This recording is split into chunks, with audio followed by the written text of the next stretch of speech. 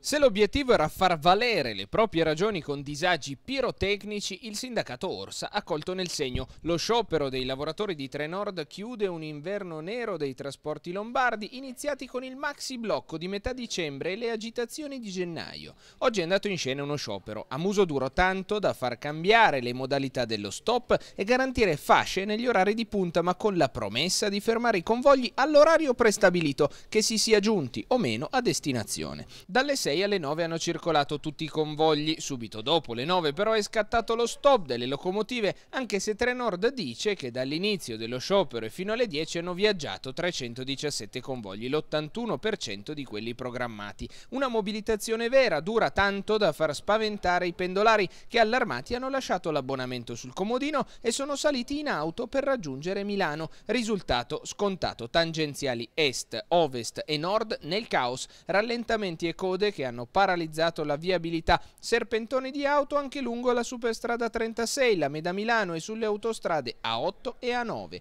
I guai maggiori nella seconda parte dello sciopero con il rientro dei lavoratori, nonostante la seconda fascia di garanzia dalle 18 alle 21. Ma dopo un blocco così lungo la ripartenza della circolazione sui binari sarà lenta e aumenteranno i disagi con ulteriori ritardi e soppressioni. Dopo le 21, così come al mattino, i treni, anche non arrivati a destinazione, tireranno il freno e tutti giù.